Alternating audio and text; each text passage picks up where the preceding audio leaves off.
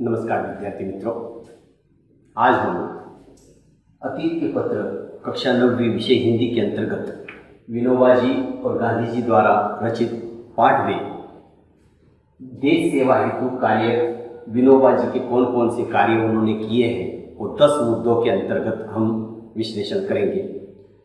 पहला कार्य उनका गीता का वर्ग चलाया। इसमें छह विद्यार्थियों को अर्थ से सारी गीता सिखाई। बिना पारिश्रमिक के। पारिश्रमिक का अर्थ होता है, एक रुपया भी मुआवजा न लेते हुए। दूसरा, ज्ञानेश्वरी छह अध्याय, इस वर्ग में चार विद्यार्थी थे। तीसरा कार्य, उपनिषद नौ, इस वर्ग में दो विद्यार्थी रहे। चौथा कार्य, हिंदी प्रचार। मैं स्वयं अच्छी हिंदी नहीं जानता, फिर भी विद्यार्थियों को हिंदी का समाचार पत्र पढ़ने, पढ़ाने का काम रखा हूँ। पांचवा कार्य, अंग्रेज़ी दो विद्यार्थियों को सिखाई। छठा कार्य, यात्रा लगभग 400 मील पैदल, राजगढ़, सिंहगढ़ और तोरणगढ़ आदि इतिहास प्रसिद्ध किले देखे। सातवां कार्य, प्रवास करते समय गीता जी पर प्रवचन करने का क्रम भी रखा था।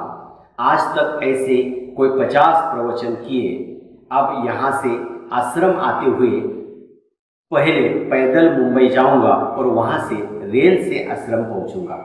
मेरे साथ 25 वर्ष का एक विद्यार्थी प्रवास कर रहा था। मुझसे गीता सीखने का उसका विचार है। मैं अधिक से अधिक चैत्र शुक्ल एक को आश्रम पहुंचूँगा। आठवां कार्य, वायु में वायु में विद्यार्थी मंडल नामक एक संस्था की स्थापना की। उसमें एक वाचनालय खोला और उसकी सहायता के लिए चक्की पीसने वाला एक वर्ग शुरू किया। उसमें मैं और दूसरे पंद्रह विद्यार्थी चक्की पीसते जो मशीन की चक्की पर पिसवाने ले जाते, उनका काम एक पैसे दो शेर के हिसाब से करते और ये पैसे हम वाचनालय को दे देते थे। पैसे वालों के लड़के भी इस वर्ग में शामिल हुए थे। यह वर्ग को दो भाग चला, दो मास चला और वाचनालय में 400 पुस्तकें इकट्ठी हो गई। नवा कार्य सत्याग्रह आश्रम के तत्वों का प्रचार करने का मैंने काफ़ी प्रयास किया। और दसवा कार्य, बड़ौदा में 10-15 मित्र है। इन सबको लोक सेवा करने का की इच्छा है। इस कारण वहाँ तीन वर्ष पहले हमने मातृभाषा के प्रचार के लिए एक संस्था स्थापित की थी। इस संस्था में वार्षिकोत्सव में मैं गया था।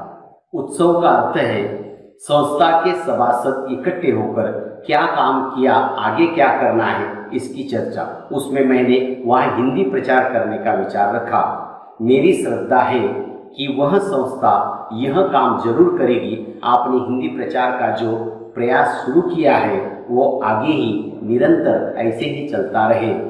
यह विनोबा जी ने गांधी जी को अपने कार्य के बारे में पत्र में लिखकर कहा है। धन्यवाद।